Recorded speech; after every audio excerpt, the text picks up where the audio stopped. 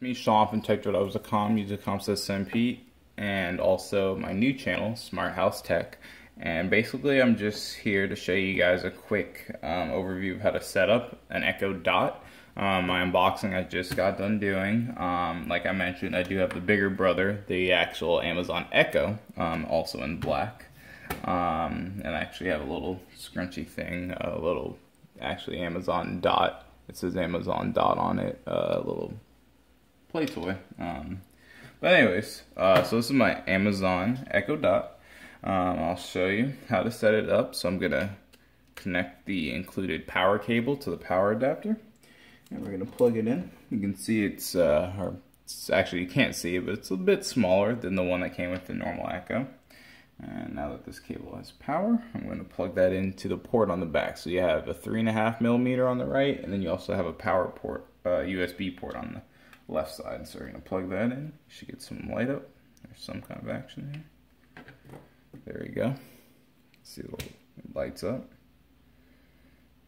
So this little spinny thing.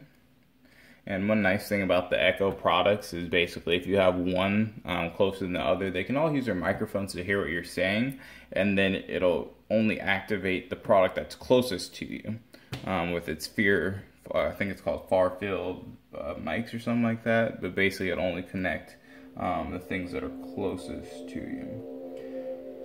Uh, excuse me, play it off the device that's closest Hello. to you. So if you have this in a your bed, Amazon Echo Dot is ready for setup. in a bathroom, Just follow the instructions in your Alexa app.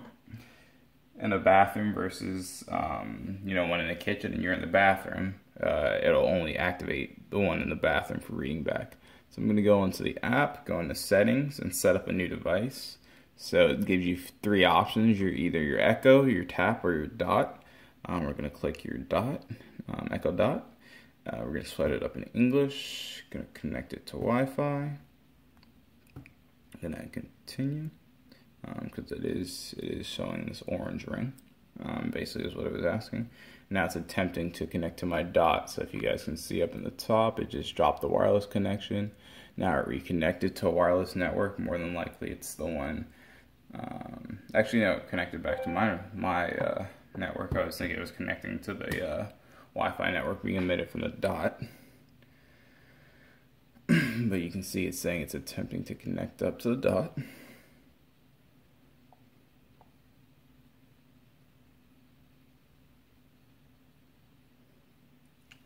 In a little bit, hopefully we'll have a, we'll have a connection here.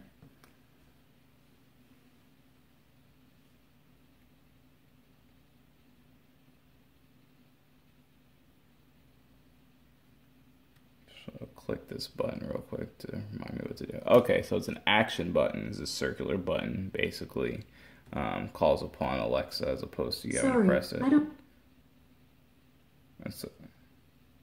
Okay, so it didn't work, so it's going to ask me to manually connect. Um, connect. I'm not to, quite sure how to help you with that. Um, my Echo, which I'm going to do. And I'm going to manually connect to the Wi-Fi network. Perfect. You've connected to Echo Dot. Go ahead and finish the setup in your Alexa app. Finish the setup. It's going to bring up different Wi-Fi networks. Going to connect it to the one that's pre-existing, which it actually had highlighted um, in the setup screen. So now you can see it's saying it's preparing my Echo Dot, and hopefully in a little bit we'll have a we'll have it completely set up and ready to start taking commands. And I'll actually mute my uh, Echo so that way um, you guys can hear some of the commands I'm going to put through my Dot.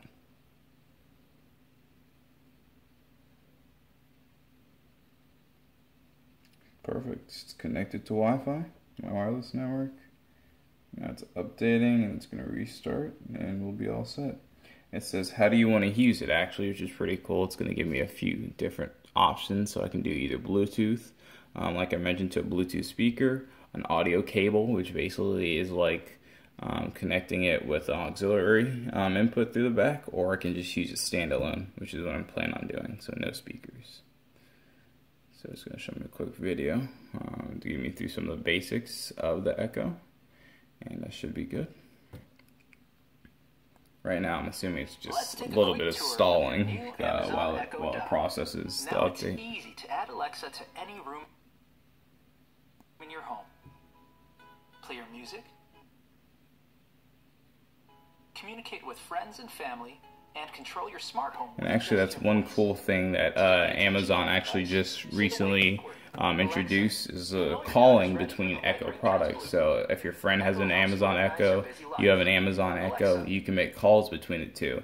Um, very similar to like FaceTime or iMessage that you get on an Apple device. Um, so essentially, you know, a bunch of people, if they all start having Echoes in their house, you can make calls directly to someone else without having without having your actual Echo, um, or excuse me, without having an actual house phone. Um, and I believe the Echo Look, if I'm not mistaken, has some kind of video conferencing um, that's going to be introducing. Um, the Echo Look is basically their newest Echo. Um, it's like a normal Echo, but with a built-in screen. Uh, I believe it's a seven-inch screen. Um, and then it also has um, the ability for you to talk, um, talk to it, and then actually see what's going on because it does have that built-in screen. Um, it's gonna retail, I want to say, for two twenty nine when it comes out.